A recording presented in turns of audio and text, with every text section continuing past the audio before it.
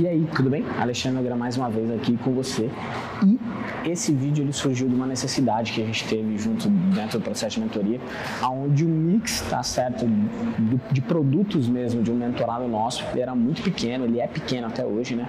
E a gente fez um estudo de quando que, o quanto que ele poderia crescer, tá? Então eu vou explicar a lógica que a gente utilizou e pode ser que ela te ajude. Fica aí comigo nos próximos minutos.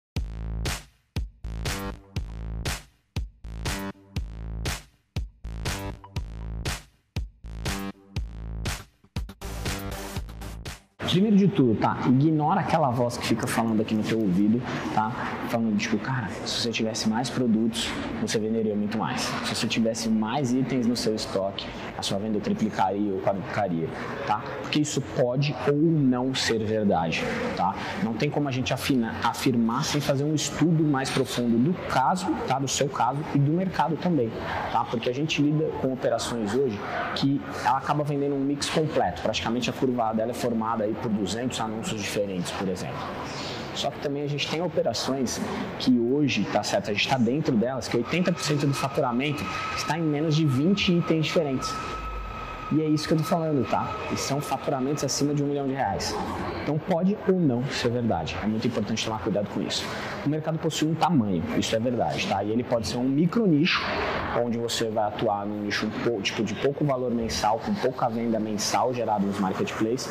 E quando eu chamo de micro nicho, eu tô falando aí de um nicho de 200 a 300 mil reais por ano, por exemplo, meio milhão por ano. É, em cada canal de venda. Isso é um nicho pequeno, tá? E normalmente isso acontece quando a gente tem produtos muito específicos ou quando a marca não trabalha, não faz muito marketing. É, e embora às vezes o mercado seja maior, dificilmente ela vai passar a ser tão conhecida a ponto de triplicar o tamanho ou ganhar uma grande fatia efetivamente desse mercado, tá? Existem os macro nichos, que são nichos mais amplos aí de produtos, que quando a gente passa a analisá-los, ele vê, a gente percebe que ele ultrapassa vários milhões de vendas aí por mês, tá? Então isso traz uma experiência grande, porque a gente sabe que pelo menos quando a gente chegar em 50 mil reais em venda, por exemplo, é, a gente tem muita oportunidade ainda, porque esse mercado acaba sendo muito amplo, tá? E com isso o primeiro passo que você tem que fazer é analisar o tamanho efetivamente desse nicho, tá? Qual que é o tamanho do seu nicho atual? E ao mesmo tempo o tamanho do mercado desses produtos, tá? Dos produtos que você trabalha, certo? A gente utiliza a Nubimetrics para fazer isso, a gente vai juntando informação do faturamento diário, que ela passa isso para a gente aproximado, isso dá uma primeira noção. O Google Trends e o Keyword Planner, eles são gratuitos, eles podem te mostrar um tamanho de mercado interessado por aqueles produtos ou por aquele nicho, então eles não vão te mostrar efetivamente o faturamento, só que ele vai te dar um volume, e pelo volume você pode criar um paralelo com o quanto que deve ser o tamanho do faturamento desse mercado, tá? Agora, continuando um pouquinho, tá? A outra análise que você deve fazer é o seu capital disponível, tá? A possibilidade de ampliar para outros itens na linha, tipo que você já possui, e se as linhas são acessíveis ou não, tá? Se você continuar nesse mesmo nicho, se é interessante você continuar nele, ou o mix, tipo, um mix maior vai te trazer oportunidade, tem que estar tá ligado ao quanto você tem de capital para isso também. Um tempo atrás eu soltei um vídeo onde eu falei sobre ser relevante ou não dentro de um mercado, tá? Ser uma referência dentro daquele mercado ou não ser, tá?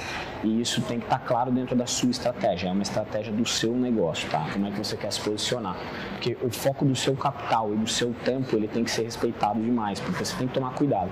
Se quando você expandir para outros nichos de produtos, tem empresas que acabam ficando sem capital para poder comprar o que realmente vende diariamente dentro do negócio, tá? E o que sustenta aquela empresa, certo? Então, no mais, as decisões elas são tomadas sempre em cima desses pontos que eu acabei de citar, né? Eu fiz assim, mas desses pontos que eu acabei de citar e para comparar, tá? Para você, a gente para comprar alguma coisa a gente sempre analisa pedido mínimo, tá? O quanto que a gente tem que comprar, a condição de pagamento para a gente poder analisar o impacto a necessidade do nosso capital de giro e prazo de entrega para a gente poder entender qual que é a necessidade de estoque, consequentemente qual que é a necessidade de capital de giro e o potencial daquela marca ou linha que a gente está olhando para a gente ver se realmente aquilo pode levar o nosso negócio para um outro jogo ou se vai ser um esforço demais para muito pouca coisa, tá?